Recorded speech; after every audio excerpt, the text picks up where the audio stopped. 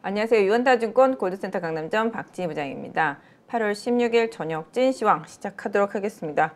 어제 좀 광복절 휴일 잘 보내셨나 모르겠네요. 오늘 시장 좀 많이 힘들었죠. 어젯밤에 미국 시장 보고 뭐 저희 광복절 날 아시아권 시장 보면서 오늘 좀 안 좋을 거라고 예상을 하긴 했는데 오늘 상당히 좀 시장 많이 힘들었던 하루였던 것 같습니다. 뭐 계속 아시다시피 이제 지수가 계속 좀 흘러내렸고 2600 이탈하면서 2580선 마지노선 깨지면서 이제 2550선까지도 깨지면서 지금 거의 뭐 오늘 예전 저점권이었었던 2510몇 대까지 왔다가 2525포인트에서 좀 마감이 되었는데요. 뭐 이제 와야 할 조정이 왔다라고 생각을 하고 있습니다. 이후에 어찌됐건 간에 그동안 좀 과하게 달려왔던 부분들은 분명히 좀 덜어내는 흐름들이 나올 수밖에 없는 상황이었고 뭐 계속 테마 이슈 막 이런 걸로 계속 급등이 있었잖아요. 결국 이제 에너지 소진이 되면서 그 에너지 소진으로 인해서 지금 자연스럽게 좀 조정이 오고 있는 상태라고 보시면 맞을 것 같아요. 일단은 뭐 오늘 시장 전체적으로 크게 한번 정리를 해봐 드린다라면은 뭐 아시다시피 좀 2차 전지 대형주들의 좀 많이 하락세가 좀 두드러졌었죠. 일단 지난주부터 계속 중국에서 탄산 리튬 가격 계속 급락하면서 2차 전지 섹터주들에 대한 압박도 좀 됐었고요. 오늘 조금 나온 뉴스 보면은 뭐 압박은 아니지만 뭐 테슬라가 또 중국에서 또 가격 인하하는 부분들 계속 좀 나타나고 있습니다. 최근에 뭐 자동차 섹터 쪽에서는 전기차 재고 이슈도 계속 있었고 전기차 부품주들한테 이제 오더컷도 좀 있었잖아요. 그러다 보니까 기본적으로 이쪽 섹터주들의 좀 뭐랄까요 센티멘탈이 조금 꺾였다 뭐 약간 그런 느낌이 있었고 지난번에 강하게 오버슈팅 된 다음에 차익 실현 좀 계속 나오고 있는 상태잖아요. 또 오늘 보신 뭐 첨보 같은 경우도 실적 미스 미스라기보다도 뭐 기대치에 많이 못 미쳤다 이런 부분이라고 봐줄, 봐드릴 수 있을 것 같은데 좀 많이 하락하는 모습들 사실 전에 전해질 뭐 이런 쪽 애들이 실적이 좋을 수가 없었던 상황이었었는데 역시 좀 그거에 더 못 미치면서 많이 오늘 급락한 모습이었습니다. 오늘 에코프로라든지 뭐 그동안 시장을 리딩했던 대형주 뭐 포스코 퓨처엠이라든지 포스코 홀딩스까지 좀 하락을 하면서 지수 압박의 요인이 됐습니다. 결국은 지수가 강하게 올랐던 부분에 있어서 또 2차 전지들이 좀 하락을 하면서 지수가 또 강하게 조정을 받았던 모습이었고 음, 뭐 나름 오늘 조금 잘 버텼다 이런 쪽들이면은 동박 쪽들이 조금 상대적으로 뭐 SKC라든지 솔루스 첨단 같은 경우가 상대적으로 좀 더 잘 버텼고 엔캠 같은 경우도 상대적으로 좀잘 버텼던 것 같아요. 엔캠도 아까 기사 보니까 이제 미국의 테네시주인가요? 거기서 이제 인센티브 신속하게 좀 제공하겠다 뭐 이런 기사들이 좀 있는 것 같은데 시장이 반등할 때 어느 정도 좀 연동이 되는지 좀 봐야 되겠습니다만은 오늘 좀 나노 신소재도 상대적으로 좀 잘 버텼던 것 같아요. 최근에 많이 빠지고 바닥권에서 좀 잘 버티는 현상이 나타났기 때문에 뭐 지금 뭐 솔루스 첨단 소재나 나노 신소재 뭐 이런 쪽들 좀 잘 버틴 종목들이 2차 전지 차후에 좀 반등할 때 어떤 모습일지 보시면 좋겠고 장 초반에는 장비주들도 워낙 강했었는데 후반에 다 밀려 내려왔거든요. 그래서 장비주들도 좀 나름대로 잘 버틴다 했었는데 밀려 내려오는 모습들이다고요. 개인적으로 보니까 이제 2차 전지주들 고점권에서 막 따라선 개인들 같은 경우 이제 뭐 신용 같은 경우 이제 뭐 반대매매다 나올 수 있는 구간까지 왔고 그다음에 뭐 CFD 계좌를 활용해서 샀던 분들도 마찬가지 그러다 보니까 오늘 전반적으로 우르르 밀려 내려오면서 하락이 좀 더 가중되는 그런 흐름들이 좀 있었던 것 같아요.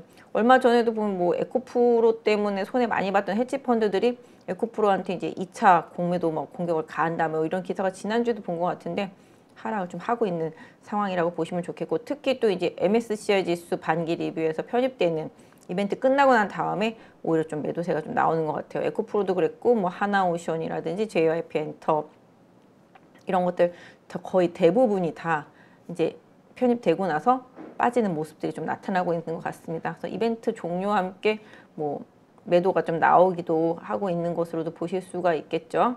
기본적으로 뭐 JYP 엔터 같은 경우는 뭐 실적 컨셉을 뭐, 못 맞췄다 이러면서 급락도 나오긴 했습니다만은 뭐 이런저런 이유들이 같이 포함되면서 전반적으로 거기 편입됐던 기업들이 대체로 좀 최근에 매물을 막고 있는 모습이라고 좀 말씀드릴 수가 있을 것 같아요. 그래서 오늘 2차 전지가 전반적으로 시장 하락을 좀 주도하는 데 영향을 많이 줬다라고 말씀드릴 수가 있겠고 오늘 또 자동차들도 좀 전반적으로 좀 약했죠. 자동차고 자동차 부품주들 특히 이제 전기차 부품주들 실적 발표하면서 좀 많이 약했던 것 같습니다. 특히 화신이 좀 실적 미스 나오면서 급락한 상황이죠.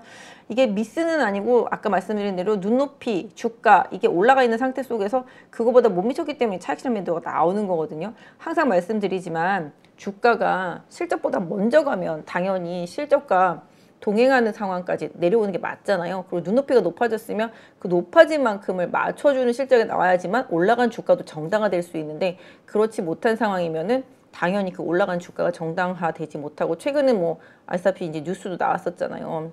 뭐 현대차 그룹에서 이제 전기차 부품 업체들한테 한 20% 정도 줄여달라. 뭐 그게 일부 차종에 한한 거긴 하지만 기본적으로 그 부분도 부담이 된 상태 속에서 높아진 눈높이를 충족하지 못한 전기차 부품 업체들이 좀 많이 빠졌고 오늘 아진 산업인가요? 그거는 엄청 많이 하락하더라고요 보니까 그것도 저도 아까 뉴스 보고 알았는데 약간 뭐 횡령 이슈인가요? 뭐 이런 게 좀 있었던 것 같아요. 그래서 그런 부분들 좀 겹치면서 뭐 오늘 시장은 좀 약간 좀 엎친 데 덮친 격으로 안 좋은 뉴스 나온 쪽들은 더 안 좋았고 전반적으로 오늘은 좀 실적 발표 이 실적 발표하면서 이 실적 이슈가 주가 급락의 주범이었던 것 같아요. 왜냐하면은 어제 쉬었지만 그제까지 다 발표하고 나니까 오늘 다 반영이 되면서 실적 때문에 급락하는 종목. 그러니까 오늘 보면은 대체로 시, 급락했다 그러면 아 실적이구나. 급등했다 그러면 아 실적이구나 아마 그랬던 것 같아요. 뭐 일부 뭐 실적 잘 나온 기업들은 엄청 급등하는 모습들이 좀 나오는 반면에 실적이 좀 미스난 기업들은 많이 하락을 했습니다. 뭐 이렌텍 뭐 이런 것들도 좀 실적 때문에 많이 급락하는 모습들이 좀 나왔고 그 외에 뭐 다른 대부분이 다 실적 때문에 많이 하락을 했던 것 같아요. 그래서 전체적으로 일단 실적 이슈가 오늘 장에 좀 등락이 가장 큰 원인이었다. 뭐 제약바이오 같은 경우도 사실 뭐 미스가 그게 크게 난 기업은 없는데 또 주가가 오른 만큼 차익 실현이 나오더라고 보니까 한올바이오 같은 경우도 주가가 많이 올라서 그런지 차익 실현 매도 좀 많이 나오는 것 같았었습니다. 그래서 오늘 좀 전반적으로 좀 실적 때문에 시장의 좀 변동성이 종목별로 좀 있었다라고 말씀드릴 수가 있겠고 아까 아무튼 간에 2차 전지 그다음에 전기차 부품주들이 또 역시 이제 실적이라든지 이런 것 때문에 좀 하락하는 모습들이 좀 많이 나왔었고 상대적으로 좀 반도체가 선방을 했습니다. 사실 삼성전자는 재고가 또 다시 늘었다고 그러죠. 그러면서 주가가 많이 하락했습니다. 그래서 이렇게 레거시 제품들 같은 경우는 뭐 추가적으로 또 감산한다 뭐 얘기도 좀 나오고 있는 상태인데 기본적으로 삼성전자 같은 경우 반도체 이제 재고 또 다시 한 느는 부분들 요 부분 때문에 좀 부담인 반면에 또 이제 하이닉스 같은 경우는 장중에 좀 좋았죠. 장중에는 상당히 많이 올라갔었었는데 사실 어제 뭐 미국 시장 그제도 그렇고 엔비디아 같은 경우 이제 실적 발표가 24일 날이죠. 그때 있게 된 23일인가 24일인 것 같은데 그때 있게 되는데 실적에 대한 기대치 뭐 계속 뭐 엔비디아 뭐 버블 논란도 있었습니다만은 실적에 대한 기대치 최근에 또 조정도 많이 깊었고 그러다 보니까 실적에 대한 기대감이라든지 뭐 최근에 뭐 상향되는 그런 흐름들 뭐 전망 상향되는 부분들 이런 부분들도 항상 엮이면서 엔비디아의 강세가 오늘 우리 시장 반도체들한테 영향을 줬다. 특히 있을 때 사우디에서 이제 반도체 사재기를 한다. 뭐 이런 기사 보셨을 것 같아요. 사우디도 뭐 AI죠. 생성형 AI 이쪽에 대한 투자를 계속하고 이쪽에 대한 연구 개발을 하면서 반도체가 계속 필요하다 보니까 이제 고사양, 고성능 반도체, GPU 이런 부분에 대한 수요가 많이 필요하니까 이걸 갖다 계속 많이 사들어가니까 요걸로 인해서 이쪽 섹터주들 좀 실적에 대한 기대치가 높다 뭐 이런 얘기들 좀 나오면서 오늘 이쪽 섹터주들이 많이 강했습니다. 아시다시피 이제 후공정 쪽들하고 이제 HBM 쪽들 네 요쪽이 많이 강했습니다. 오늘 뭐 STI 강했고요. 두산 테스나 상당히 많이 급등했었고요. 역시 또 한미반도체 뭐 이렇게 상승해주는 모습들이 좀 나타나고 그 외에는 뭐 이오테크닉스 뭐 이런 부분들도 좀 강세를 보였고 뭐 PSK 홀딩스라든지 뭐 전체적으로 오늘은 반도체 섹터주들도 좀 실적 발표하면서 실적 괜찮은 기업들은 좀 반등이 좀 있었었고요. 지난 뭐 월요일 날 실적 발표하고 급락했었던 ISC 같은 경우도 오늘은 좀 반등이 나서는 모습이 좀 나타났었습니다. 그래서 IT 섹터주들도 전체적으로 실적 이슈가 주가 영향을 많이 줬습니다만은 다시 오늘 나왔던 호재도 영향을 많이 줬다. 그래서 반도체 쪽에서는 오늘 뭐 사이맥스도 좀 오른 것 같고요. 대체로 좀 빠졌던 쪽도 오늘 텔레칩스도 좀 올랐고 그죠? 그좀 약간 뉴스나 이슈 나오는 반도체 쪽들 좀 괜찮았던 것 같아요. 그래서 전체적으로 반도체 섹터 내에서 좀 볼만한 종목들은 있다 한번 다시 한번 선별해 드리도록 하고요. 그래서 반도체는 그런 사우디 이슈라든지 뭐 그다음에 엔비디아 이슈, 실적에 대한 기대치 이런 부분들이 많이 작용을 했다 말씀드릴 수 있을 것 같습니다. 또 그리고 오늘 그동안 좀 많이 갔었던 중국 관련주들 제가 지난번에도 한번 짚어드린 것 같은데 이쪽에서 지금 급등이 나왔죠. 저희 못 만나는 사이에 뭐, 뭐금 그다음 월요일까지 해서 계속 급등이 좀 나왔던 상태인데 뭐 중국인들 단체 관광 풀리면서 제가 그날 수요일 날 녹화를 하고 갔는데 그날 저녁 때 나온 뉴스를 제가 못 봤었거든요. 못 보고 이제 뭐 중국 관련주들에 대해서 말씀은 뭐 잠깐 드리고 갔었었는데 그 다음 날부터 목요일부터 급등이 나오기 시작한 상태인데 계속 뭐 가장 수혜 많이 받는 게 결국 면세점하고 카지노잖아요. 그래서 중 중국인들이 제주도에 많이 온다고 그래서 저가 타겟으로 잡았던 게 사실 롯데관광이었었는데 그게 많이 올라갔고 뭐 호텔 신라도 많이 올라갔고 현대백화점 꾸준하게 좀 많이 올라갔었고요. 뭐 실적 때문에 많이 하락했었던 신세계도 좀 많이 급등했던 것 같습니다. 이런 그랬다가 오늘은 대체로 좀 조정을 받았지만 다른 종목들에 비해서 하락폭은 당연히 나쁘지 않았다. 그러니까 아래 꼬리를 달고 쭉 올라온 기업들이 많았거든요. 신세계도 그렇고 호텔신라도 그렇고 뭐 현대백화점도 마찬가지 다 아래 꼬리 달고 올라왔고 그다음에 카지노가 가장 좋잖아요. 그래서 지금 파라다이스, 롯데관광개발 이쪽 가장 강한 모습이 오늘도 좀 이어졌다. 화장품 쪽에서는 대형주 뭐 LG화학이라든지 아모레는 좀 어쩔 수 없이 중국에 대한 우려감 때문에 빠지긴 했습니다만은 다른 쪽들은 그래도 상대적으로 좀 잘 버틴 것들이 꽤 있었다. 하지만 좀 변동성은 좀 많이 컸다 말씀드릴 수 있겠는데 기본적으로 내수 소비 쪽들 장기적으로 좀 망가졌었던 종목들 쪽에서 최근에 좀 시세가 나오는데 그 내비수, 내수 소비주들이 대체로 중국인 관광객들의 유입과 관련이 있습니다. 오늘 보시면 지방 공항들 같은 경우도 다시 또 증편을 해서 뭐 4,500회 이상 뭐 늘린다 뭐 이런 기사들도 좀 나오고 있고요.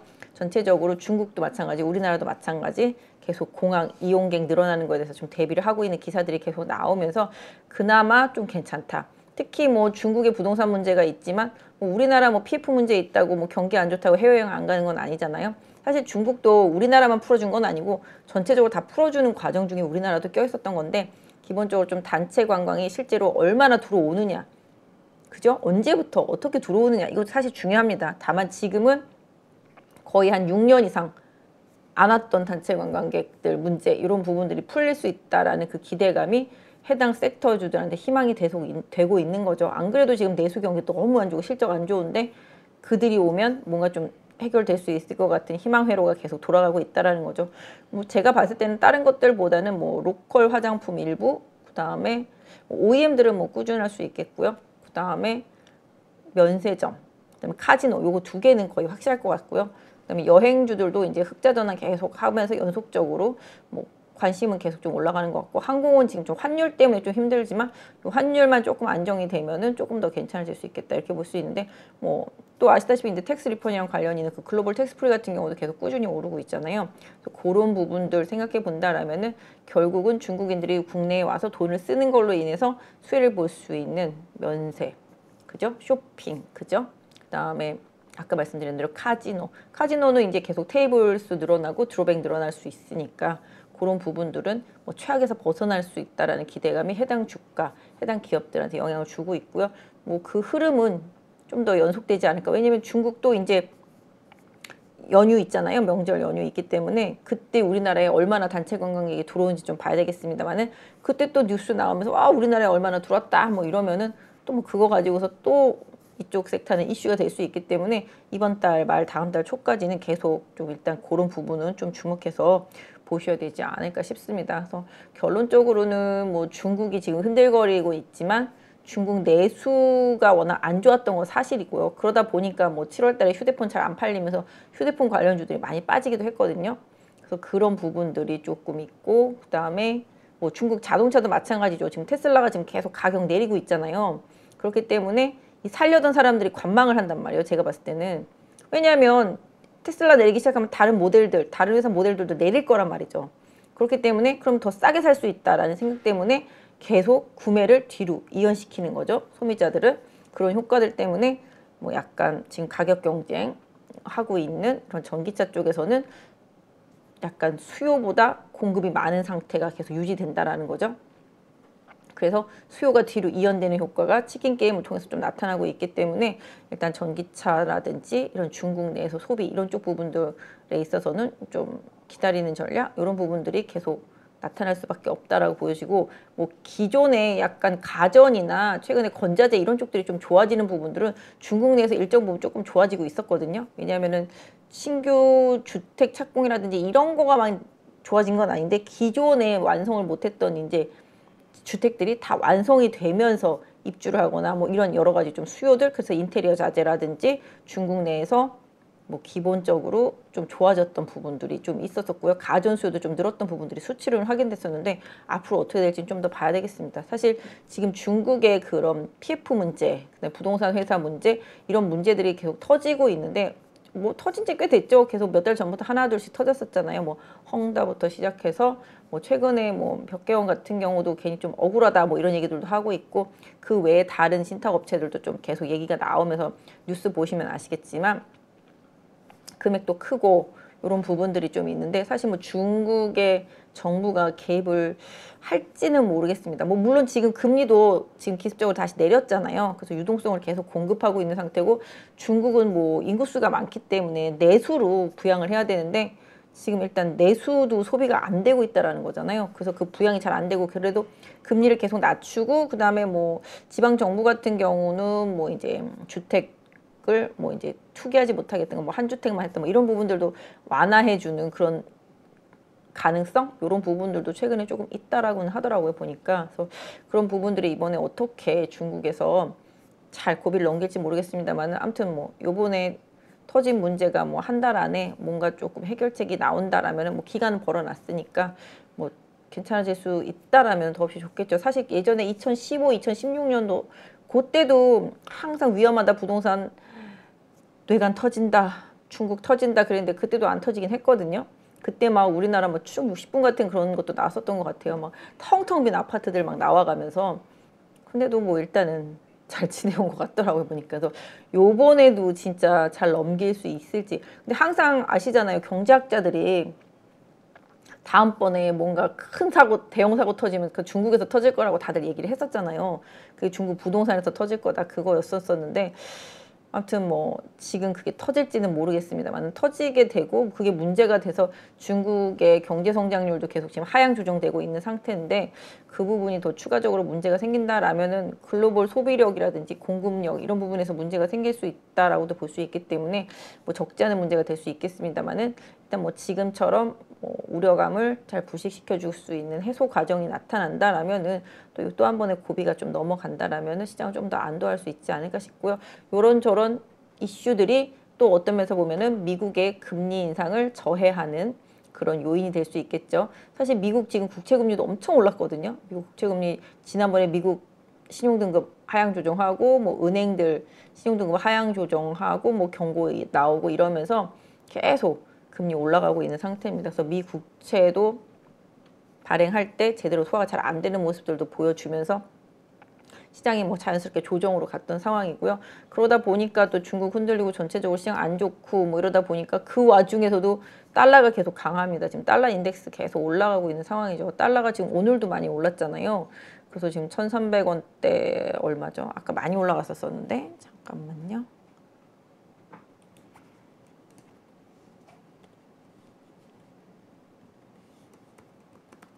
아까 내가 6원인가 오른 것까지 봤었었는데 네, 그쵸. 딱 6원 올랐네요. 1336원 90전.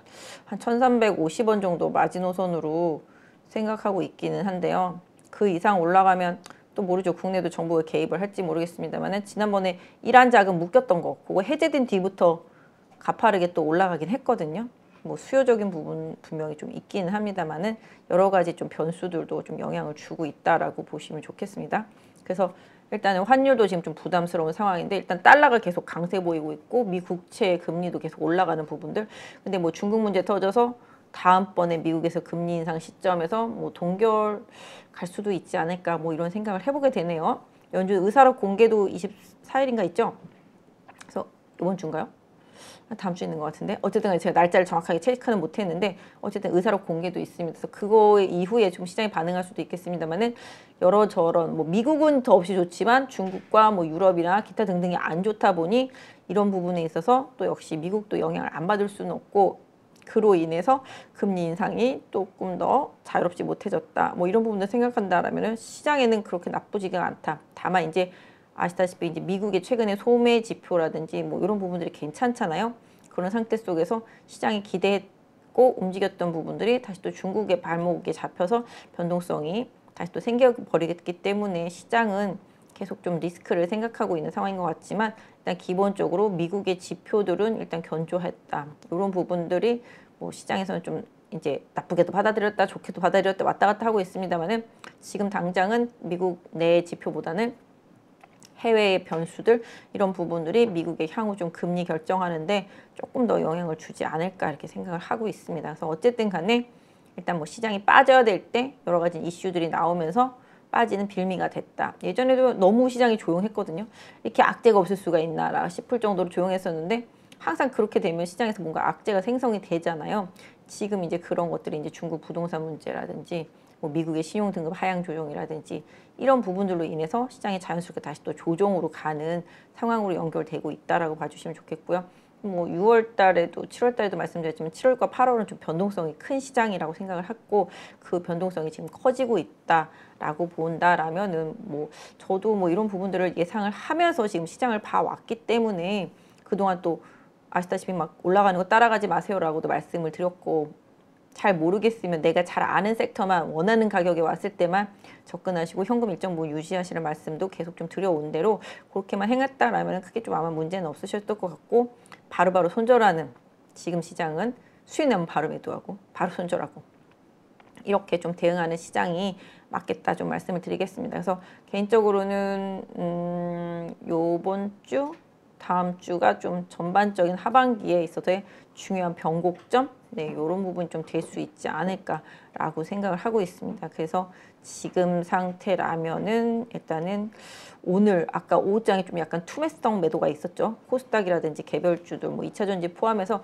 웬만한 종목들 거의 투매성으로 매도가 많이 나왔었기 때문에 내일 아침 만약에 오늘 밤에 미국이 빠진다라면 내일 아침에 좀 더 하락을 해서 반대 매매 물량들도 좀 나올 수가 있을 것 같고 그게 아니다라면은 뭐 추가적으로 하루 이틀 더 하락할 수도 있겠습니다만은 일단 제 고객분들 기준으로 봤을 때는 오늘 좀 담보 부족이 발생한 것들이 엄청 적었다 옛날보다는 이렇게 말씀드릴 수가 있겠습니다.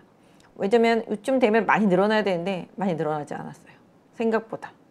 네, 그래서 어, 왜 이렇게 조금 뜨지? 이런 생각을 했거든요. 그런 부분들 그리고 이제는 좀 장중에 계속 정리하려고 하는 노력들을 하고 있기 때문에 장중에 보임 한 12시 반에서 2시 이때쯤에 많이 정리를 하시더라고요. 그래서 그때 또 시장이 많이 하락을 하기도 하고요. 그래서 매수를 노리시는 분들은 그때 나오는 물량들을 잘 체크하시는 것도 또 가격대를 체크하시는 것도 좀 도움이 될 수 있지 않을까 싶습니다. 그래서 기본적으로 일단은 조금 시장이 조정받아야 될 때 조정받을 빌미가 생겨서 조정을 받았고 그 빌미가 이제 뭐 중국에서 왔기 때문에 시장이 우려는 하고 있습니다만은 과거랑 비슷하다. 다들 얘기하잖아요. 2015, 16년 때 그때랑 비슷해요. 막 다들 얘기하거든요. 그래서 그때랑 너무 똑같아요. 뭐 이러면서 그때처럼 되지 않겠어요. 다들 얘기를 하지만 기본적으로 또 그때랑 비슷하다고 얘기하면 시장이 그대로 흘러간다라면은 또 시장에 있어서는 또 뭐랄까요? 돈을 굴리는 입장 또 아까 말씀드린 대로 뭐 공매도라든지 또는 뭐 매수하는 입장 이런 부분이 뭐 첨예하게 다르겠습니다만은 아무튼 그때랑 다들 비슷하다 비슷하다 뭐 지금이 제일 탈출해야 될 초반 아니냐 뭐 이런 얘기들도 오늘 많이 나오더라고요. 지금이라도 팔아야 된다 뭐 이런 얘기들 많이 나오는데 팔려면 빨리 팔았어야 되거든요. 사실은 2,600 깨질 때부터 팔았어야 돼요. 팔 거면은 이제 와서 판다 그러면은 약간 타이밍적으로는 물론 종목별로 다를 수는 있겠습니다만은 지수로 봤을 때 타이밍적으로는 아직 아니다. 오히려 다음번 rebounding 할 때 매도의 기회가 오지 않겠나라고 생각을 하고 있습니다. 그래서 아직 현금이 뭐 많지 않으신 분들이라면은 종목별로 사실 그렇잖아요. 오늘 종목별로 좋은 종목을 갖고 계셨을 수도 있잖아요. 그렇기 때문에 뭐 나는 초전도체밖에 없는데 탈출하라니 뭐 이렇게 될 수도 있는 거잖아요. 오늘 좀 초전도체도 보시면 아시겠지만 이게 극단적이란 말이죠.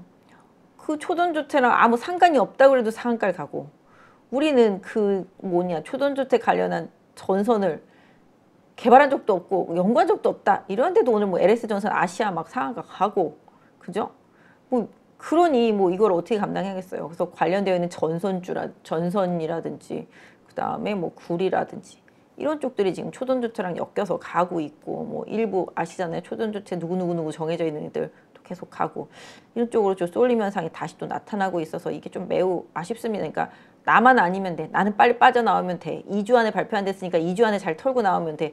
이런 생각으로 몰려가서 투기적인 부분들이 많이 성행하는 것 같아요. 오늘 뭐 기사도 뭐 이론적으로는 뭐 맞는 것 같다라는 둥뭐 이런 식으로 기사가 또 나오니까 그거에 또 연동하기도 하고 저는 이쪽은 문해학인이기 때문에 제가 뭐 공대를 나온 것도 아니고 잘 모르기도 하지만 뭐 그냥 트레이딩으로 재미로 한번 해볼까 이런 생각도 해봤지만 그건 좀 아닌 것 같아서 저는 매매하지는 않았는데 일단은 대부분의 뭐 트레이딩 투기 뭐 이런 거 하시는 분들은 좀 이런 쪽들을 많이 매매하시는 것 같긴 하더라고요 보니까 어쨌든 간에 이것도 또 시장의 하나의 현상이라고 생각을 하고 있습니다 아까 보니까 뭐 이복현 금감원장이 불법 주식 리딩방 천 개 나 있다고 그거 뭐 단속한다 뭐 이렇게 얘기도 하긴 했습니다만 그래서 개별주들이 더 빠졌나? 뭐 이런 생각도 살짝 들기는 하더라고요. 어쨌든 간에 시장이 좀 많이 흔들렸고 투매성 매도도 있었고 뭐 아까 말씀드린 그런 조사 제가 봐도 그 불법 리딩방 조사랑 관련된 것도 일부 좀 있었지 않았을까 싶기도 하고요. 그래서 그런 부분들까지 좀 결합이 되고 뭐 신용 담보 부족이 나오는 부분들도 결합이 되면서 시장이 좀 많이 하락을 했던 것으로 보여지고 있습니다. 그래서 일단 미국은 좋은데 중국에 대한 우려감이 생긴 데다가 최근에 신용등급 강등당하면서 국채금리 올라가는 부분들 그럼에도 불구하고 달러가 강해지는 부분들 외국인들이 이탈하는 부분들 이런 부분들이 다 영향을 미쳤고 지금 한 제가 알기로 한 3주째인가요? 3주째 지금 신흥국 아시아권에서 자금 계속 이탈하고 있거든요. 외국인 자금들. 요 부분도 뭐, 뭐 대만도 마찬가지, 일본도 마찬가지, 우리나라도 마찬가지. 계속 일단은 자금이 조금 이탈하는 부분들이 계속 있어서 이 자금이 이탈되는 부분들이 멈추는 시점 이런 부분들을 좀 잘 챙겨봐야 되겠는데요. 아까 봤을 때 아침에 봤을 때 한 7천억 대 이상 나갔다라고 알려지고 있더라고요. 보니까 그거보다 더 나갔을 수도 있을 것 같은데 그만큼을 더 한번 나가야 된다 뭐 이런 얘기도 최근 며칠 동안 나간 게 그 정도라고 그러더라고요. 그 3주 동안 나간 게 아니라 최근 며칠 동안 나간 게 그래서 최근 며칠 동안 나간 것만큼 더 나가야 된다 뭐 이런 얘기들도 있는데 뭐 수급적인 부분은 조금 더 챙겨보면서 대응해보면 되지 않을까 싶긴 합니다. 그래서 오늘 일단 그런 부분들 시장 뭐 미국 시장 이런 부분들과 연계되었었던 부분들 지금 시장 상황과 연계됐던 부분들을 좀 말씀드렸고 일단은 일단 지수의 급락의 원인은 2차 전지에서 나왔기 때문에 2차 전지가 앞으로 어떻게 해주느냐가 지수에는 더 영향을 미칠 수밖에 없겠고 일단 2차 전지가 더 추가 하락만 안 한다라면 2차 전지에서 나왔던 수급들 그러니까 수급의 쏠 림이 다시 수급의 분산으로 나타나면서 다른 섹터주들이 가고 그 또 수급이 초전도체로 가면서 그쪽에 급등도 나오고 뭐 그다음에 반도체는 최근 조정을 많이 받은 상태 속에서 엔비디아를 기반으로 해서 호재가 나오면서 좀 반등을 한 상태 또 실적 발표 나오면서 시장이 어수선하면서 변동성 많이 커진 상태지만 결론적으로는 또 여기가 또 저점이 될 수도 있는 변곡점이 될 수도 있기 때문에 이번 주 다음 주가 시장의 터닝에 있어서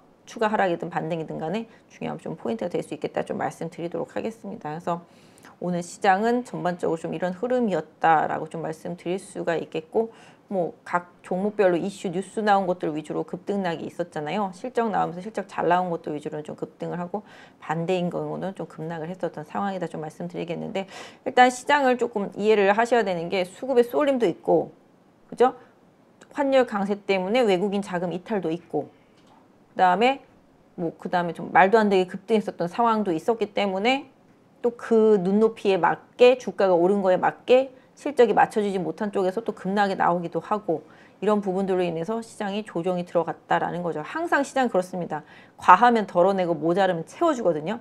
내수 소비주들도 너무 모자랐기 때문에 채워주는 부분들, 2차 전지나 그 외의 것들도 너무 넘쳤기 때문에 덜어내는 부분들이 지금 현상이 나타나고 있다고 보시면 좋겠습니다. 그래서 상대적으로 중국과도 미국과도 연관이 없는 섹터를 찾으라고 그러면 제약바이오 섹터가 되겠죠. 제약바이오 섹터도 오늘 뭐 신테카바이오라든지 중해제약 같이 이런 쪽들이 조금 많이 오르고 상대적으로 저 NK맥스도 예전에 관심 종목으로 드린 적이 있었는데 오늘 뭐 자회사 나스닥 상장 확정되면서 장중에 급등하기도 했었던 상황이었었습니다. 그래서 일단은 제약바이오 sek터 주들은 좀 선별적인 흐름이 좀 있었다라고 말씀드릴 수가 있겠는데 일단 아무튼 간에 경기와도 무관하고 앞으로 금리 인하가 되면 더 좋고 그다음에 중국이랑 미국이랑도 크게 연동하지 않지만 세계 전 세계 테마가 이제 비만 당뇨 테마기 때문에 이거와 연동하는 종목들 중에서는 관심을 갖고 봐야 된다라고 생각하는 종목들 뭐 대원제약 같은 경우도 최근에 흐름 괜찮잖아요. 그런 식으로 이런 것들 그다음에 아시다시피 이미 이제 액티브형 ETF가 바이오 쪽에서 출시가 됐고 삼성 코엑트가 있었고 그 다음에 17일 날 타임폴리오 거 있고 30일 날 또 신한 쏠 거 있는 것 같더라고요 보니까 거기는 의료 기기 쪽들이더라고요 보니까 그 결론적으로 그 스케줄에 맞춰서 관련되어 있는 이슈에 해당하는 종목들은 계속 좀 잘 보셔야 되지 않겠나. 그래서 지금에 있어서 시장 변동성 여러 가지 고려했을 때 그래도 가장 수급이라든지 상황상 괜찮은 쪽이 제약바이오, 비만 당뇨 섹터 쪽들이다. 의료기기 쪽들이다. 좀 말씀드릴 수가 있을 것 같습니다. 그리고 상대적으로 뭐 엔비디아 이슈도 있겠습니다만 엔비디아 뭐 실적 발표하고 뭐 봐야 되겠습니다만 최근에 조정 많이 받고 이제 같이 반등해서 반도체 내에서도 항상 말씀드린 대로 고사양 후공정 이제 HBM 이런 쪽들은 계속 시장에서 꾸준히 좀 관심이 있을 것이다 라고 말씀드릴 수가 있겠고 상대적으로 중국 관련주들은 그냥 중국에서 뭔가 파는 기업들이 아니라 중국인들이 우리나라에 단체 관광에 오면 없던 수요가 생기니 그로 인해서 수혜를 보는 면세점과 카지노, 그죠? 백화점, 명품관이 있는 이런 쪽들이 일차적으로는 좀 수혜가 되겠다. 그래서 하나 갤러리아도 면세점이 없는데도 불구하고 명품관이 있다 보니까 최근에 좀 많이 올랐죠. 오늘 좀 조정 받았지만 뭐 가격대는 괜찮은 것 같더라고요. 그리고 현대백화점 계속 올랐죠. 그 다음에 뭐 롯데쇼핑도 오늘은 빠졌지만 어제는 좀 반등이 있었고 그 다음에 음, 오늘 보시면 이제 호텔신라 신세계 강했고 그죠? 이런 부분들 그래서 카지노도 마찬가지. 그래서 이런 쪽들에 대해서는 시장이 조정이 왔을 때 제가 봤을 때는 내일도 마찬가지 되겠는데 오늘 찍은 저점만 깨지 않는다라면은 뭐 가격대는 다시 또 메리트가 있어지지 않을까라고 생각을 하고 있습니다. 다만 지금의 지수 조정에 시장이 눌려버리면 아무리 좋은 종목들도 못 가잖아요. 그렇기 때문에 2차 전지가 얼마나 바닥을 치고 반등을 해주느냐 반등을 못하더라도 자리를 잡아주느냐가 좀 중요할 수 있을 것 같습니다. 그래서 이런 부분들 지수는 좀 잘 챙겨 보셨으면 좋겠고요. 뭐 지금 시장은 서두르기보다는 그 뭐랄까요 과잉되게 올랐던 부분들을 덜어내는 과정 속에서 급락이 나온 거기 때문에 이걸 다 덜어내고 바닥을 좀 확실히 잡는 걸 확인하고 가는 전략이 일단 좀 맞겠습니다. 그래서 쫓아가기보다는 기다리고 기다려서 내가 원하는 가격이 왔을 때 원하는 섹터와 종목을 들어가는 전략이 지금은 맞겠습니다. 그리고 빠른 순환매가 있었고 섹터별로 거의 다 대부분 돌아서 더 이상 테마가 있을까 하는 정도였거든요. 초전도체까지 왔으니까. 그렇기 때문에 시장도 새로운 먹거리를 좀 찾으려고 할 거고 새로운 수급을 좀 기다릴 거고 달러가 어느 정도 좀 완화되기를 좀 기다릴 거고 이런 부분들. 약간 좀 기다림의 시간이 당분간은 나올 수도 있겠다. 좀 말씀드릴 수가 있겠고요.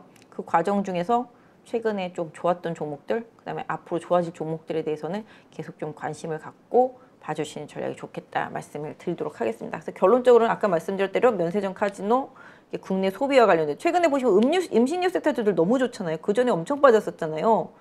뭐 지금 뭐 불닭볶음면 때문에 삼양식품 뭐 빙그레도 실적 좋았고요. 그죠? 농심도 많이 갔고 최근에 오리온, 롯데채성도 많이 갔다가 조정 받긴 했습니다만 많이 갔고 제일제당도 마찬가지. 그래서 최악의 음식료 섹터주들도 뭔가 알고 봤더니 실적이 좋더라. 이런 상황인 거잖아요. 그렇듯이 시장이 그동안 좀 안 바라보던 쪽을 다시 바라볼 수도 있기 때문에 최근에 움직였던 종목들은 다시 봐야 된다. 시장이 조정이 왔을 때. 무슨 얘기인지 아시죠? 그래서 최근에 움직였었던 종목들은 다시 봐야 되고 그 다음에 주도주였다가 선조정 받았던 반도체가 오늘 좀 일부 반등을 했지만 추세적으로 계속 가는지 여부는 좀 더 체크해 봐야 되고 지수를 살리려면 2차 전지가 어떻게 움직이는지를 조금 보셔야 되겠습니다. 그래서 2차 전지가 못 올라갈 때 다른 섹터가 대장으로 나서는지까지도 좀 체크를 해보시면 좋겠다 말씀드리겠고요. 이 환율이라든지 지금 상황으로 봤을 때 외국인이 다시 돌아올지 여부는 중국 쪽 좀 안정화되는 부분들 좀 확인할 필요가 있겠고 다만 아까 말씀드린 대로 뭐 저희가 어떻게 뭐 중국을 어떻게 할 수는 없잖아요 지금. 그러니까 부동산 문제가 계속 터지고 있었는데 이 터지는 문제가 중국 내에서 잘 조절이 돼서 잘 안정화가 될지 여부는 저희가 어떻게 할 수 있는 부분이 아니니까 좀 지켜야 될 부분이기 때문에 그래서 조금 리스크 관리를 하라고 말씀드리는데 결국은 미국은 너무 좋고 중국은 안 좋고 미국이 계속 중국을 못 살게 군 것도 일정 부분 있겠습니다만은 기본적으로 부동산 문제는 뭐 미국이 못 살게 군 건 아니니까 부동산 문제는 예전부터 중국이 끌어안고 있었던 문제들이었었고 그 심각성은 지금 1, 2, 3선 도시로 봤을 때는 1선 도시보다는 2선, 3선 도시들이 조금 더 문제가 있는 상황이라고 보실 수가 있겠습니다. 최근에 보면 뭐 신규 주택 가격의 상승세가 점점 점점 둔화되고 있거든요. 이런 모습들로 일단 중국의 경기에 대한 부담. 중국은 부동산이 차지하는 비중이 경제에 있어서 경기, 뭐 GDP라든지 기타 등등에 있어서 거의 한 30% 정도 되는 걸로 알고 있어요. 그러다 보니 이 부동산에서 문제가 터지다 보면 중국에서 더 큰 문제가 터질 수도 있겠구나라는 생각을 안 할 수는 없는 상황이라는 거죠. 그죠? 그렇기 때문에 이 부동산 문제의 해결 과정을 확실히 조금 살펴볼 필요는 분명히 있겠다. 안 그래도 내수 소비 안 좋은데 이 부동산 문제까지 터지면 중국인들은 더 지갑을 닫을 수밖에 없다. 그죠?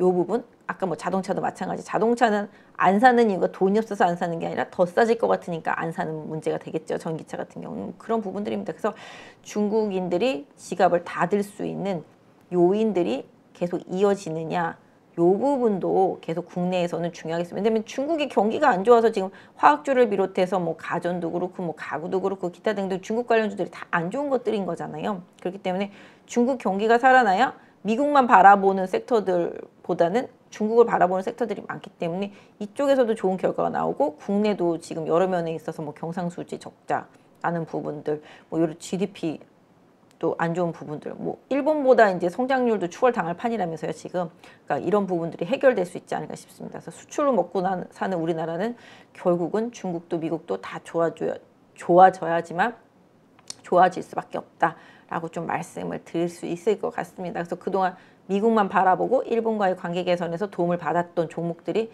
최근에 조금 조정을 받는 반면에 중국으로부터 딸을 당하다가 이제 중국이 조금 보살펴 줄까? 뭐 약간 이런 뉘앙스 때문에 좋아질 수 있는 기업들 쪽으로 수급이 우르르 이동했다. 이렇게 좀 해석을 해주시면 좋겠죠?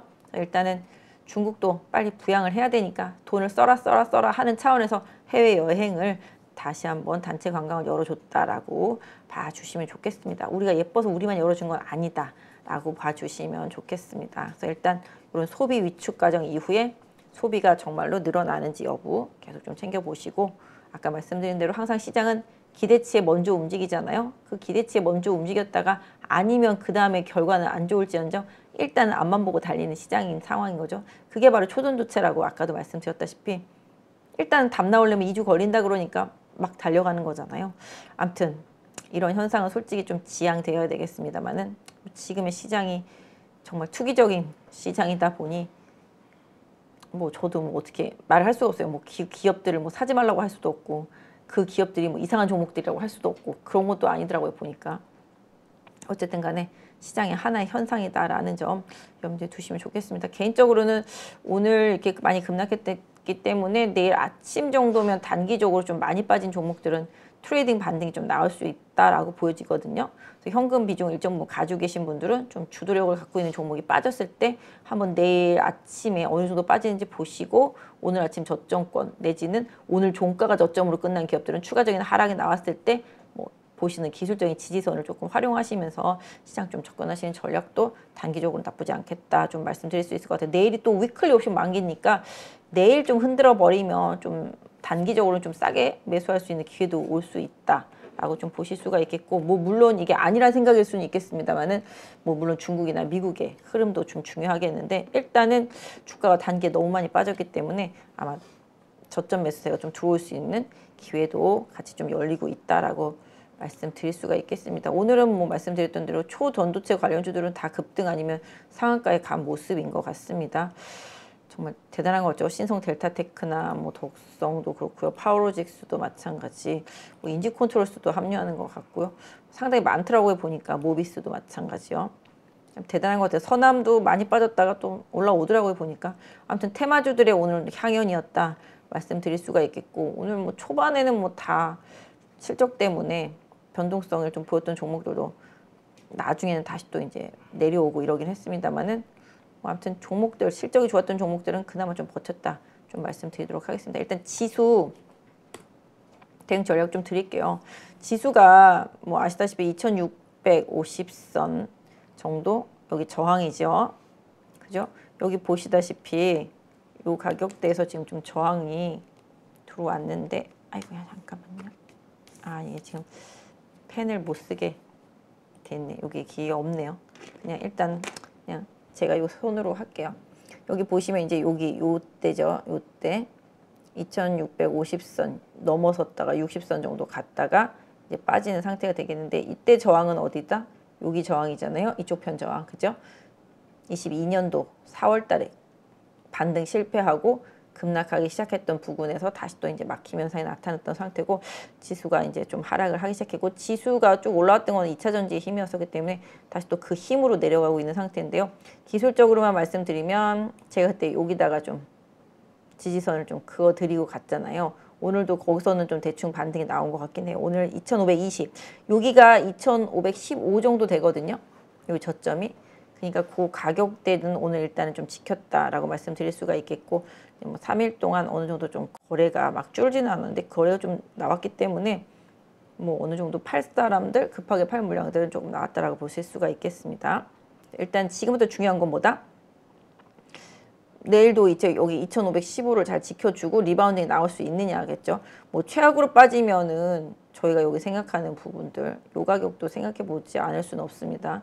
2,480 정도 될 것 같은데 뭐 요 정도를 최악이라고 생각하고 선을 일단 그어 놓도록 할게요. 네. 2,400 한 70, 80. 네, 요 정도가 최악의 구간이다. 다만 이제 아까 말씀드렸던 대로 이 구간대에서 잘 지지가 되는지가 중요하겠다. 그래서 요 가격대, 그죠?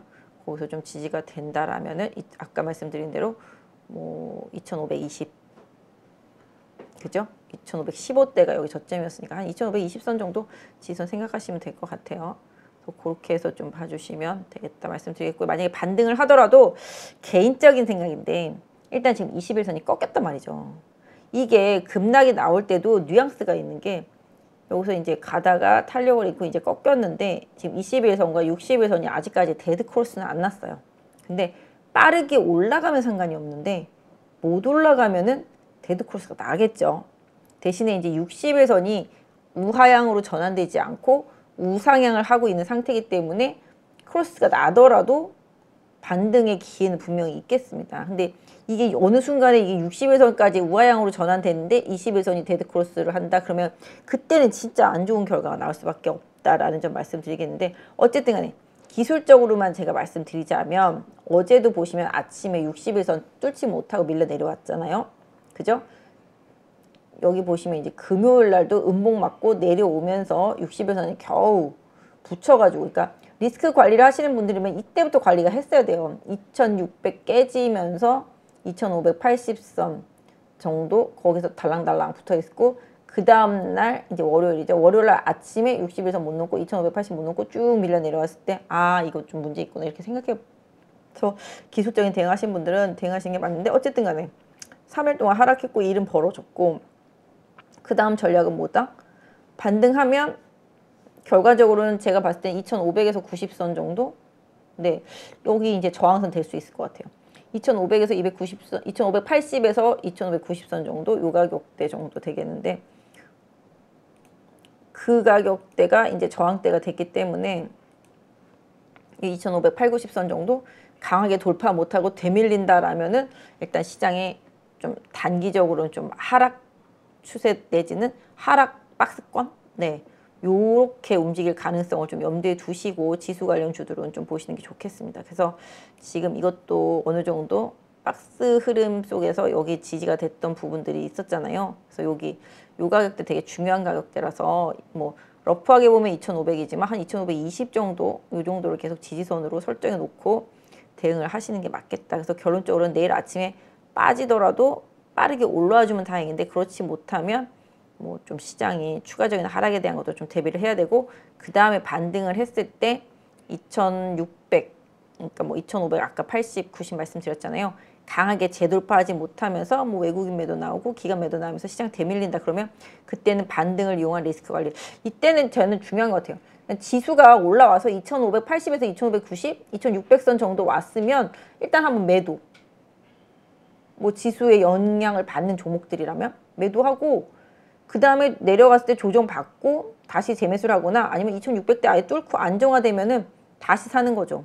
지수 관련주들은 그렇게 하는 게 좋을 것 같아요. 그래서 더 보고 확인하고 팔게 이런 것보다는 올라오면 일단 2590에서 600선 정도 내지는 2580선에서 2600선 사이 정도 들어오면은 일단은 내가 생각한 목표치까지 왔으니 팔고 좀 눈치를 보다가 뭐 여기 지금 여기 여기 하락하면서 생긴 갭이 있잖아요. 그러니까 제가 봤을 때는 2,550, 60 여기가 좀 저항대가 될 수 있을 것 같아요. 그죠? 여기 요 가격만 메꾸고 다시 빠진다라면은 오히려 좀 밑에서 통통통통 튀기면서 움직일 가능성이 높은데 일단 2550선에서 60선 여기 갭 메우고 다시 내려오는지 아니면 갭 메꾸고 그냥 바로 슈팅 가서 2580에서 2600선 정도 가면은 아무튼 개인적으로는 조금 지수 관련 주들이라면은 비중을 조금 줄여놓고 완벽하게 조정을 받고 지지선 확인하고 재미수하거나 아니면 2600선 돌파하고 안착하는 거 확인하고 외국인 돌아오는 거 확인하고 달러 인덱스 안정화되는 거 확인하고 다시 사는 전략? 이게 좀 맞지 않을까? 그래서 일단 지수 관련주 지수로는 그렇게 조금 받아들일 수 있을 것 같아요 다만 이제 지수가 추가 하락을 안 한다라면 뭐 개별 종목들한테는 기회도 올 수 있겠습니다만은 제가 아까 오면서 차트를 보니까 대부분들이 다 모양새가 조금 안 좋아졌더라고요 그동안 시세 냈던 것들 다 많이 밀리고 모양새 안 좋아졌던 것들이 좀 많아서 시장이 당분간은 막 이렇게 마냥 쉬운 시장은 아닐 것 같다라고 좀 말씀드릴 수 있을 것 같아요. 다만 그럼에도 불구하고 내일 또 추가 하락하면은 뭐 단기적으로는 낙폭과대에 따른 기술적인 반등은 나올 수 있는 구간이다. 이것까지는 또 말씀드릴 수가 있겠고 코스닥도 뭐 아시다시피 2차 전지들이 워낙 많으니까 계속 밀리고 있잖아요. 네, 그때 좀 선을 좀 많이 지저분하게 그어놓긴 했었는데 계속 이제 여기 이 장대 음봉 안에서 계속 놀다가 이 장대 음봉이 이탈되면서 오늘 빠진 거잖아요. 이 음봉을 이탈하는 가격대 보시면 이제 900선 정도 대충 되겠죠. 그래서 이게 깨지면서 하락했고 뭐 코스피처럼 뭐 이렇게 하락을 했기 때문에 좀 아까 확대해서 보여드리면 역시 이제 여기 여기 여기 여기도 아직 코스닥도 60에서는 빳빳하게 살아 있는 상태고요. 5일선이 이제 하락하는 상태. 60일선도 이제 20일선도 꺾인 상태. 역시 이렇게 되면 60일선이 살아 있어서 다행히 중기 추세는 괜찮지만 단기 추세는 훼손이 되고 있기 때문에 코스닥도 반등을 하게 되면은 거의 900에서 910선 정도 네, 강하게 돌파 안 나오면은 일단 여기서도 조금 리스크 관리는 필요할 수 있겠습니다. 특히 이제 코스닥 지수에 영향을 주는 종목들이 되겠죠. 그리고 반등할 때마다 지금 고점이 계속 낮아지고 있는 상태잖아요. 그죠? 보시죠? 그러니까 하락하고 반등하고 하락하고 반등하고 하락하고 반등하고 하락하고 이런데 고점이 계속 반등하고 하락할 때마다 낮아지고 있다. 저점도 왠지 낮아지고 있는 느낌 보이시겠죠? 뭐 어느 정도 옛날 저점은 안 깨고 있긴 하지만 그래서 궁극적으로 코스닥도 직전 저점 부근인 뭐 880선 언저리에 있다 보니 기술적인 반등이 나올 수 있는 상황이기도 한데 만약 반등이 원활치 못하다라면은 추가적인 하락 이후에 좀 반등을 시도할 수도 있겠습니다. 다만 이제 개인적으로 봤을 때 여기 860선 정도는 웬만하면 좀 하회하지 않으면 좋겠다. 요거 깨면은 조금 모양 안 좋다.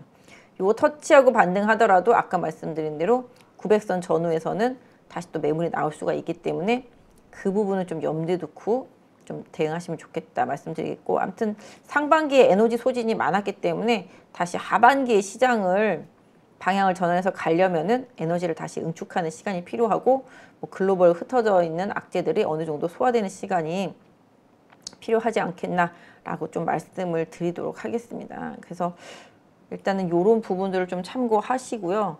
제가 봤을 때는 뭐 종목을 하나하나 좀 뭐 찍어드리진 못하겠지만 뭐 현대백화점, 신세계, 그다음에 롯데관광개발, 그다음에 파라다이스 이쪽들은 조금 괜찮은 흐름이에요. 조정 시 좀 관심을 갖고 보시는 게 좋겠고 그다음에 오늘 뭐 많이 올랐던 반도체들 다시 살아나는 쪽들이잖아요. 뭐 한미반도체나 STI나 뭐 두산 테스나나 뭐 이런 것들 아직 좀 조정 최근에 많이 받고 반등 시도했기 때문에 내일 아침에 오늘 저점권 이탈하지 않는 상태 속에서 좀 조정이 나오면 좀 체크는 좀 필요하겠다 말씀드리겠고 최근에 좀 잘 가다가 실적 때문에 좀 빠졌던 종목이라든지 시장 흐름 때문에 빠졌던 종목들은 역시 최근에 찍었던 지지선대를 조금 확인해 보시면 조금 답이 되지 않을까 싶습니다. 그래서 일단은 뭐 지금 상태라면 아까 섹터별로 종목별로 다 말씀을 드리긴 했는데 기본적으로 일단 서두르지는 않되 원하는 저점에 왔을 때는 새로운 종목을 사기보다는 내가 갖고 있는 종목을 선택하는 게 조금 더 편하실 것 같고 최근에 급락 전에 시장 주도주였던 섹터주들을 선택하시는 게 좀 편하겠다. 그래서 아까 말씀드린 반도체 고사양 관련된 종목들하고 그 다음에 내수 소비 중에서는 면세점 카지노 섹터 쪽들 이쪽에 대한 관심도 필요하겠고 그 다음에 뭐 미국 중국과 전혀 관련 없는 제약 바이오 섹터 주들의 흐름도 계속 좀 유념해서 좀 보시면 좋겠다 좀 말씀드리고 싶어요. 왜냐면 제약 바이오들은 아까 말씀드린 대로 17일하고 30일에 또 설정이 되거든요. 액티브형으로.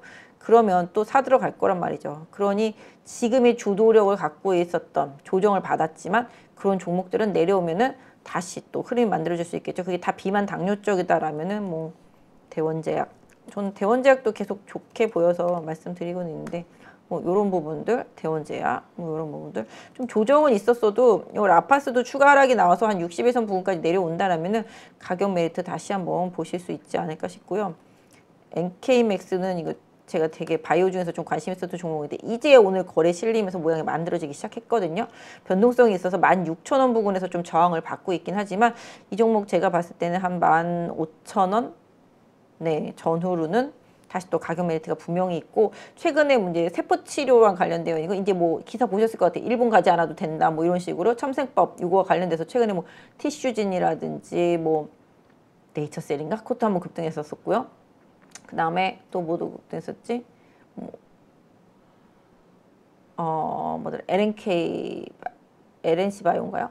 아 그건 아니지. 그거 말고 아 뭐더라 있었는데 아무튼 뭐 기타 등등 NK맥스도 NK 세포와 관련되어 있는 부분이 있기 때문에 그거에 조금 수혜를 받을 수 있는 가능성이 좀 있거든요. 그리고 뭐 올해 학회라든지 뭐 이런 거에 대해서 관련되어 있는 임상들도 괜찮고 그래서 이 NK맥스 같은 경우는 오늘 거래까지 터졌기 때문에 앞에 매물을 좀 잘 받아 냈다라고 생각한다라면은 제가 생각할 때 15,000원 언더권으로 혹시 내려오면 한번 NK맥스는 관심 갖고, 갖고 보시면 하겠다. 제약바이오 섹터는 좀 말씀드릴 수가 있겠습니다. 그래서 변동성을 조금 활용해 보시는 게 좋겠고 최근에는 뭐 당뇨자만 들어가면 막 계속 올라오니까 그런 부분들 제가 보는 것 중에서 이게 이것도 당뇨병과 관련되어 있는 그 GLP-1 기전으로 되어 있는 그 약 을 갖다가 연구하고 있는지 개발하고 있는지 제가 사업 보고서에서 봤거든요. 그거 있는데 뭐 실적이 좀 괜찮아서 오늘 좀 올라왔어요. 근데 얘도 그거에 좀 해당될 수 있는데 시장이 좀 잘 모르는 것 같더라고요 보니까. 그래서 요 HLB 제약도 뭐 최근에 시장 흐름상 놓고 본다라면은 오늘 저점권 이렇게 12,800원 정도 네, 손절손으로 놓고 한번 이것도 챙겨 볼 만 하지 않겠나라고 좀 말씀드릴 수가 있겠고 최근에 좀 많이 빠진 게 잘 가려다가 많이 빠진 게 3천당이잖아요. 이것도 다시 또 60일선 정도까지 내려오면 다시 좀 가격 메리트 볼 수 있겠고 원래 좀 오스코텍도 그 뭐죠 ETF 때문에 많이 올라갔었는데 오늘 보합권에서 잘 버텼거든요. 이것도 추세 계속 유효하다라고 말씀드릴 수가 있겠고 유한양행도 마찬가지가 되겠습니다. 이것도 21선이랑 이격 조정이 들어가고 있기 때문에 이런 부분들 역시 좀 봐야 되겠죠. 네, 다 마찬가지죠. 판매약품도 위에 딱 눈에 보이는 34만 원에 저항 받았잖아요. 밑에서 치고 올라오는 61선, 21선 생각하면 한 30만 원? 네, 이 정도가 지지선 될 수 있을 것 같아요. 한미약품도 계속 관심 있게는 보셔야 되겠다 좀 말씀드리도록 하겠습니다. 뭐 오늘 많이 올랐죠. 신테카라든지 중해제약 이런 것들도 계속 지금 가고 있죠. 상대적으로 먼저 갔던 루닛이라든지 JLK는 오늘 많이 급락한 반면에 중해제약이라든지 아까 말씀드린 신테카 같은 이런 쪽들이 좀 많이 올라갔어요. 이런 부분들 좀 챙겨서 봐주시면 좋겠고 아 제가 드림텍은 예전에 말씀드리고 많이 올랐다가 다시 빠졌는데 드림텍도 제가 생각할 때는 만천원 밑에 내려오면 만 오백 원 정도 지지선으로 해서는 다시 또 가격 메리트가 생기거든요. 만천원 깨는지 여부 좀 요번 주 챙겨보시면 좋겠는데 이 기업도 괜찮은 기업이고요. 10월 20일 합병 생각하면은 변동성 충분히 좀 활용해 봐야 되지 않겠나. 다만 이제 많이 올랐던 부분 때문에 지금 내려왔기 때문에 바닥을 얼마나 잘 잡아주느냐 만천원 중심으로 해서 이 부분 좀 챙겨보시면 좋겠고 저는 개인적으로 항상 뭐 펄어비스도 좋게 보고 있기 때문에 4만 8천 원만 안 깨지면은 계속 펄어비스는 갖고 갈 생각이고요. 요거는 계속 좋게 보고 있습니다. 그래서 요거 요번에도 어느 정도 조정을 받긴 했지만 계속 6만 원에 막히고 있잖아요. 이 6만 원이 뚫어지면은 뭐 다른 세상에 나올 수도 있는데 뭐 일단 이쪽도 좀 조정을 받고 있습니다만은 하여튼 5만 2, 3천 원대 안 깨면 펄어비스도 계속 관심권에 놓고 좀 보셔도 되겠다 좀 말씀드릴 수가 있겠고 뭐 엔터주들은 뭐 실적 워낙 좋음에도 불구하고 이제 많이 올라갔었기 때문에 뭐 컨셉 미스 이런 부분에서 좀 빠지고 있는 상태라고 봐주시고 뭐 컨텐츠류들은 워낙 잘 가지도 못했었다가 잠깐 중국에 대한 살짝 기대감으로 올랐다가 다시 빠졌는데 뭐 드라마와 관련되어 있는 쪽들은 좀 조정 시 괜찮을 거라고 생각해요. 뭐 컨텐츠류 중앙도 그렇고 뭐 스튜디오 드래곤도 그렇고 뭐 에스튜디오도 그렇고 이런 것들을 좀 조정 받을 때 조금 눈여겨 보시는 전략이 좀 좋을 것 같고요. 그 다음에 음, 아까 말씀드린 대로 호텔 신라 네 요거는 아까 말씀드린 대로 추세 살아 있거든요. 밀리면 오늘 저점 기준으로 해서 좀 긍정적으로 계속 좀 봐주시면 좋겠다. 요것도 말씀드릴 수가 있겠고 파라다이스 아니죠 이게 아니지.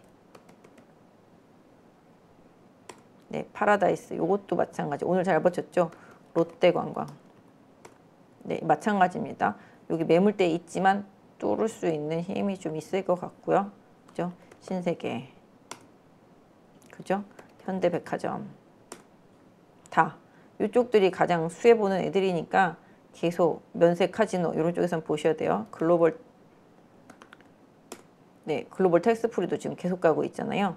이런 식으로 중국인이 단체 관광이 정말 얼마나 언제 어떻게 올지는 모르겠지만 하여튼간 요번 중국 명절 연휴 이런 부분에 맞춰서 단체 관광 많이 들어온다라면은 그때 한 번 더 시장이 그것만 지금 노리면서 가고 있기 때문에 흐름은 계속 좀 유효하겠다. 다만 이제 이격이 좀 많이 있는 종목들은 이격 조정도 살짝 대비해야 되겠지만 대체로 방금 말씀드린 중국 관련 면세 카지노 쪽은 오늘 찍었던 저점, 네, 그 부분이 기준이 좀 될 것 같아요. 그 부분을 안 깬다라면 긍정적일 수 있겠다. 좀 말씀드릴 수가 있겠고 음식료 쪽에서는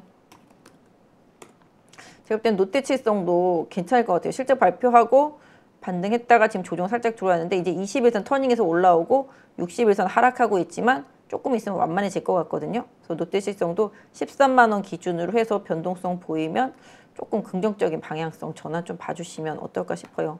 혹시 뭐 오리온 같은 경우도 조정 받고 있긴 하지만 하여튼 11만 5천 원 정도가 조금 저항 지지선이거든요. 그래서 이것도 보시는 분들이라면은 그런 거 챙겨. 다만 이제 60에서 좀 하락하고 있기 때문에 요거 조금 완만하게 돌리는데 좀 시간이 필요할 것 같고 농심도 이렇게 고점 치고 나가고 있잖아요. 지금 농심도 그 지나고 보면 그 막 라면 가격 갖고 변동성 보일 때가 그랬었죠. 그죠? 삼양식품은 뭐 아시다시피 어저께 상쳤었죠. 그러고서 이제 상가 맞죠? 예, 그러고 나서 오늘 고점 찍고 좀 내려오긴 했지만 이런 식으로 시장이 완만하게 박스권 그러다가 이 박스권 상단을 뚫으면 이렇게 급등하는 케이스들이 좀 많이 나오잖아요. 빙그레도 네 이렇게 고점 찍고 그러니까 이렇게 음식료 섹터주들은 좀 바닥에서 돌아가면서 시세들이 좀 계속 나오고 있는 상태니까 상대적으로 덜 난 것들 좀 찾아보시면은 좋겠죠. 제일제당도 이것도 진짜 언제 갈지는 모르겠는데 바닥은 좀 대충 나온 것 같더라고요. 다만 이제 저기 박스권, 좁은 박스권 쪽으로 들어가고 있기 때문에 그 박스권 상단에서 좀 저항 나올 수 있으니까 200에서는 좀 조심하시고 나중에 좀 눌림목 생각해 보시면 좋지 않을까 싶고요. 뭐 어쨌든 간에 먹는 것들, 음식료들 이런 것들도 뭐 수혜가 될 수는 있긴 하니까 다만 요새 물가가 너무 많이 올라서 그리고 원자재 가격과 관련돼 있는 부분들에 있어서 나중에 좀 도움이 좀 나오면은 오히려 좀 더 좋을 수 있지 않을까 싶은데 일단은 뭐 이런 식으로 내수 소비주들 전반에 대해서는 좀 이렇게 보셔야 되는 부분이 있겠고 한미반도체 네 이쪽도 마찬가지죠 급등하고 지금 박스권 상단 쪽으로 다시 또 이제 조정 속에서 좀 이동이 있었고 네, STI도 지금 조정받으면서 어느 정도 지지선 만들어지고 있는 상태. 오늘 두산 테스나가 좀 좋았었죠. 여기도 좀 추세 상단 쪽으로 뚫는지는 조금 더 봐야 되겠습니다만은 오늘 보니까 요거가 지금 아슬아슬한 자리에 조금 걸렸더라고요. 요게 만약에 내일 좀 반등하면 오늘 찍은 저점이 좀 기준이 될 수 있을 것 같아요. 얘도 변동성은 되게 좋은 편인데 일단은 조금 그러니까 이거 말고 뭐 반도체 워낙 다 좋으니까 지금 보시면 좋겠고 로봇들이 조금 오늘 많이 빠졌죠. 레인보우가. 근데 이것도 어차피 이격 20일선이랑 이격이 줄어든 상태니까 한 12만 원 기준으로 해서 사실 레인보우는 차트 보시면 이제 쌍봉이 됐잖아요. 쌍봉. 이 쌍봉 넘기가 좀 쉽지 않을 수도 있을 것 같긴 한데 어쨌든 간에 조정 받으면 trading을 할 수 있는 게 최근에 보면은 레인보우도 그렇고 뭐 뉴로메카, 뭐 SBB, SPG 이런 거 잘 가다가 지금 다 오늘 많이 무너졌잖아요. 상대적으로 로보스타, 로보티즈가 덜 올랐기 때문에 덜 빠진 것 같더라고요 보니까. 그거 그렇고 인공지능도 뭐 솔트룩스도 뭐 호재 나오면서 변동성 많이 커지고 있는 상태고 상대적으로 인공지능도 좀 많이 빠졌는데 네이버가 24일 날 발표하니까 오히려 좀 네이버 조금 공략도 나쁘진 않을 것 같긴 해요. 네이버도 지금 보시면은 이제 오늘 딱 20일선 찍었단 말이죠. 그죠? 20일선 찍었기 때문에 네이버도 지금 제가 보는 관점에서는 21만 8천 원이 오늘 저점인데 요거 안 깨는 수준이라면은 한번 관심 가져봐야 되지 않을까. 또 혹시 압니까? 하이퍼클로바 하이퍼클로바 X가 엄청 히트가 될 수 있을 수 있으니까 그 부분들 좀 생각해 보시면 저는 뭐 대형주 단에서는 좀 네이버한테 관심도 조금 필요하겠다 상대적으로 좀 말씀드릴 수가 있겠습니다. 그래서 뭐 하이닉스 삼성전자는 뭐 어쩔 수 없이 수급 흐름이고 그다음에 지금 뭐 바닥에서 뭐 LG전자, 삼성 전기도 좀 맥이 없고 최근에 반등했던 LG 이노텍도 다시 좀 조정받는 분위기고 일단은 이런 가전, 휴대폰 이런 쪽과 관련되어 있는 쪽들은 지금 다 맥이 없습니다. 중국 소비가 막 좋아진다는 시그널이 나야 되는데 그게 조금 없기 때문에 그런 것 같아요. 그래서 어쨌든 간에 뭐 시장에 있어서 변동성이 있는 종목들을 조금 봐드리긴 했는데 이걸 뭐라 그래야 될까요? 그냥 아까 말씀드린 대로요.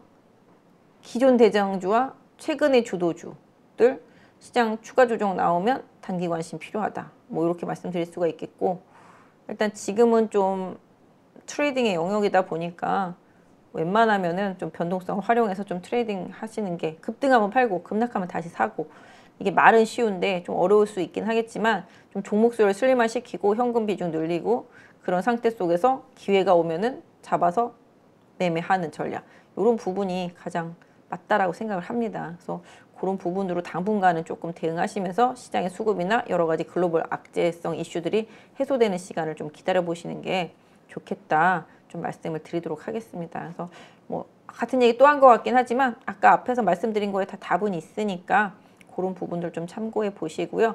일단 3일 연속 강하게 빠졌기 때문에 내일 아침에 혹시라도 조금 오늘 밤 미국 시장 때문에 빠진다라면은 내일 아침에 또 단기 trading 매수 기회가 종별로는 올 수도 있으니까 잘 참고하시고 많이 빠진 2차 전지들이 다시 한번 시장을 leading할 수 있는 흐름이 나오는지 여부, 그게 못 갈 때 다른 쪽에서의 반등 흐름이 나오는지 여부 이런 부분들 좀 챙겨보시면 좋겠는데 가장 중요한 건 일단 환율 외국인이 돌아오느냐 마느냐 이게 가장 좀 많이 중요할 것 같고요. 미국의 뭐 국채 금리라든지 이런 부분들도 계속 보긴 합니다만은 하여튼간 악재가 없던 시장에 새로운 악재 같은 오래된 악재가 다시 한번 시장을 좀 짓누르고 있다라는 점, 이 부분 좀 염두에 두시면서 시장 대응하셨으면 좋겠습니다. 오늘 좀 시황 위주로 말씀을 좀 많이 드렸고요. 대응 전략 위주로 좀 말씀을 많이 드렸으니까 좀 시장 좀 무리하지 마시고 시장 조금 변화하는 거 확인하시면서 천천히 시장 좀 대응하신다 생각하시면 좋겠습니다. 오늘도 고생하셨고요. 내일은 좀 좋은 결과 있기를 저도 밤에 기도하도록 하겠습니다. 고생하셨습니다. 안녕하세요. 주식계 street fighter 데이자입니다. 1년 가까이 교육을 해오면서 수많은 회원들이 수익을 냈는데 심지어 저보다 수익을 많이 낸 사람도 계십니다. 이번에 8.15 가족분들과 평생 꺼내볼 수 있는 강의를 준비했습니다. 바로 평생 소장 패키지입니다. 패키지로 데이장의 기법을 평생 소장하면 내 것으로 익히고 화요일 저녁마다 라이브러리에 꼭 들어와 그 주의 시황과 매매 전략을 설명드리니 응용하면 큰 도움이 될 거라 생각합니다. 이 안에 들어있는 32개의 강의는 여러분들이 언제든지 볼 수 있도록 말 그대로 평생 볼 수 있는 거죠. 대입장과 함께하는 중단기 실전기법 끝장반에서는 기법 기초부터 내용이 들어있고 더 큰 기대 수익을 가져올 수 있는 응용편까지 새롭게 추가했습니다.